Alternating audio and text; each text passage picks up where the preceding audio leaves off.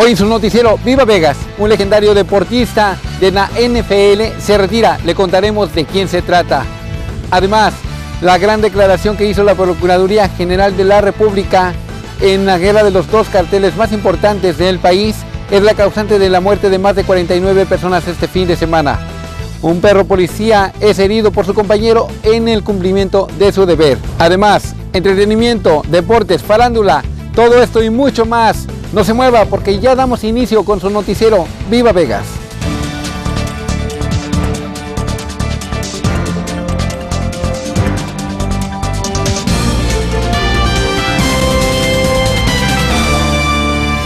Hola, bienvenidos a su noticiero Viva Vegas, una edición más transmitiendo como ya es costumbre desde el Parque Recreativo Spring Preserve. Les saluda con muchísimo gusto un servidor, Emanuel Noriega. Damos inicio con las noticias locales más sobresalientes de esta semana. Comenzamos. Un legendario jugador de la Universidad de Las Vegas y gran estrella como entrenador de la NFL se retira. Wayne Nunley es entrenador de los Broncos de Denver por más de 36 años, incluyendo los últimos 17 en la NFL. Nunley, que jugó como corredor de la Universidad de Las Vegas de 1971 a 1972, trabajó como asistente del entrenador con el equipo antes de convertirse en el jugador de fútbol.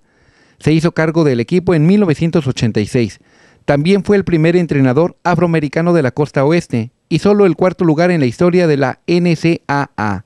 También trabajó como director de la Universidad de Las Vegas de Asuntos Estudiantiles de las Minorías, antes de volver a entrenar.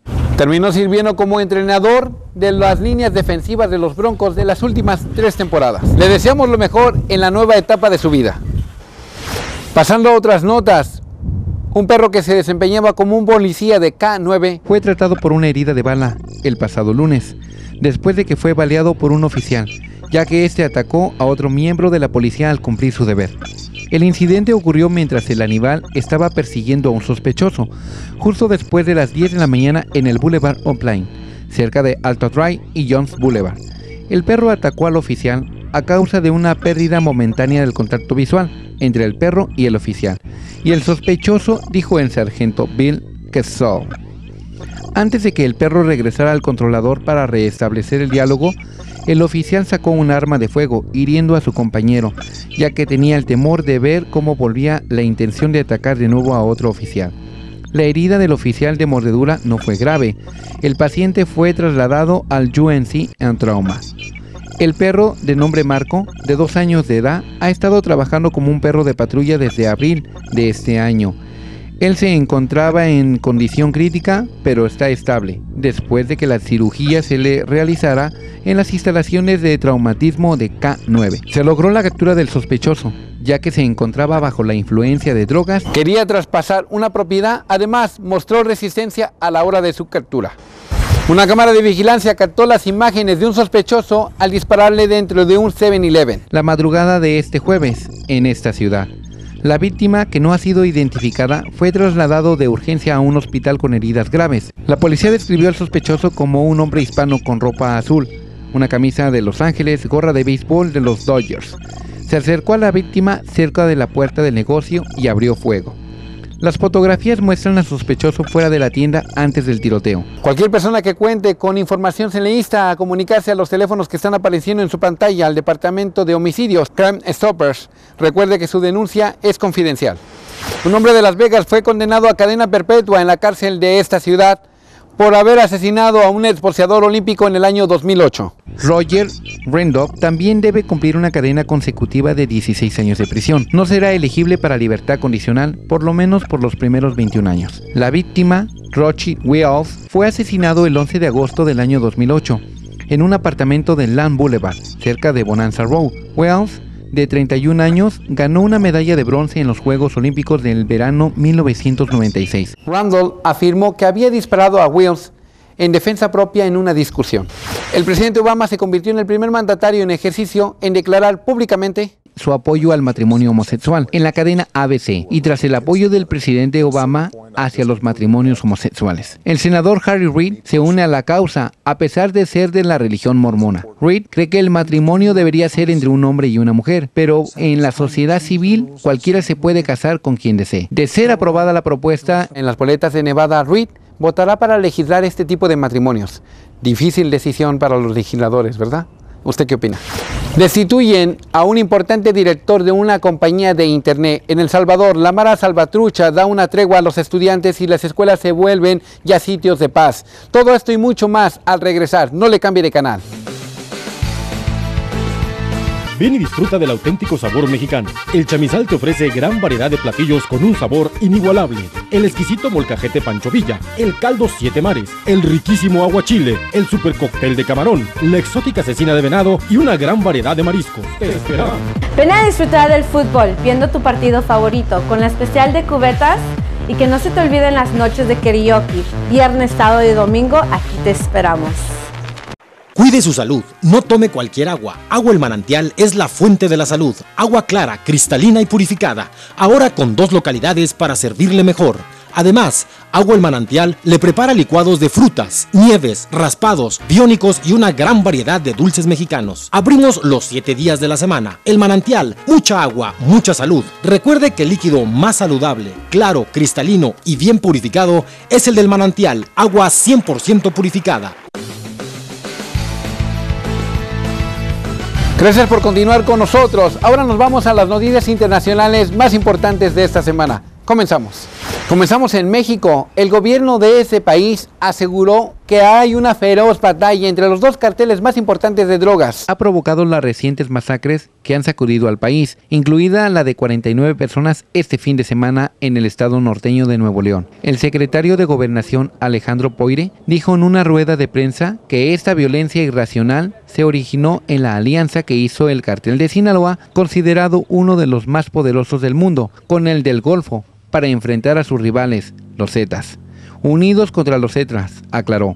Lo que enfrentamos ahora son episodios de violencia que todo sugiere que se derivan de una pugna entre el Pacífico, sumado al Golfo, en contra de los Zetas, dijo el funcionario. Aseguró que el gobierno federal no bajará la guardia.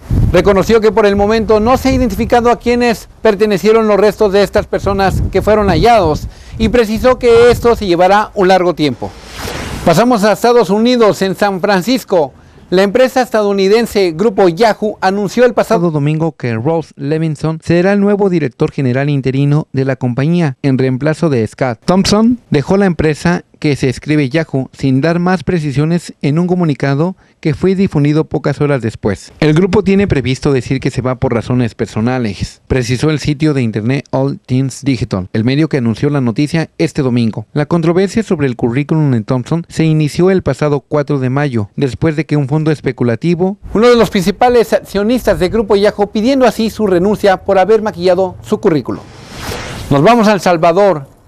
Las pandillas del Salvador hicieron el cese al reclutamiento forzoso de los jóvenes, a la vez que declararon las escuelas como zonas de paz, dijo un portavoz de la Mara 18 en el centro penal de Quesaltepec, a 25 kilómetros al norte del Salvador. Declaramos que en adelante quedan abolidas todas las formas de reclutamiento involuntario de personas menores y mayores de edad a nuestras filas, declaró Víctor Antonio García, el líder de la Mara 18, una de las dos principales pandillas en el país, junto a la Mara salvadoreña MS-13. Mejía dio lectura a un comunicado el pasado 9 de marzo en el cual declara que todos los centros escolares del país, públicos y privados, son zonas de paz. Las maras mantenían un constante asedio a las escuelas para reclutar estudiantes desde los 12 años. Con esa declaratoria, según el comunicado, las escuelas ya no serán consideradas como zonas en disputa territorial, lo cual permita que los alumnos y los maestros puedan desempeñar sus actividades educativas con toda normalidad y se liberen los padres de familia de toda preocupación. Esto es una muy buena noticia. Nos vamos a Argentina. En Buenos Aires, el senador argentino sancionó la ley muerte digna en casos terminales e irreversibles como el de una niña de tres años que se está en estado vegetativo y cuya madre pregó sin tregua a los despachos parlamentarios para que dejen morir a su pequeña. Lo que buscamos con esta ley es la paz para Camila y de toda nuestra familia que vive en un estado de muerte permanente y doloroso, dijo Selva Harbon, madre de la pequeña Camila. Luego de la aprobación de la norma. La nueva norma no autoriza la muerte inducida, sino que le otorga a los pacientes en cuadros terminales e irreversibles el derecho de rechazar procedimientos para prolongar la vida que le produzcan sufrimientos. Herbon, una docente de 38 años y madre de otra niña de 10, aseguró que toda la familia trata de seguir con su vida, pero es difícil cuando se está en un proceso de duelo. No es lo mismo cuando tienes un familiar descansando en paz. El proyecto fue sancionado por 54 votos favorables y ninguno en contra en el Senado. Luego de recoger 142 votos positivos y 6 negativos en noviembre pasado. Verdaderamente controversial esta noticia. Y siguiendo con cosas tristes, tenemos un grave problema social como la obesidad infantil. Es un grave problema. Vamos a ir a una pausa, pero al regresar le contaremos más de este tema.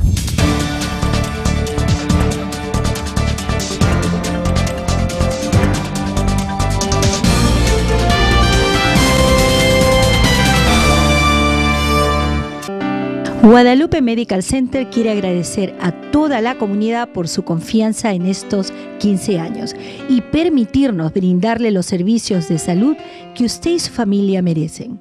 Queremos celebrar nuestro 15 aniversario ofreciéndole el mejor servicio a muy bajo costo. Guadalupe Medical Center al servicio de la comunidad. Llámenos al 384 1110. 384 1110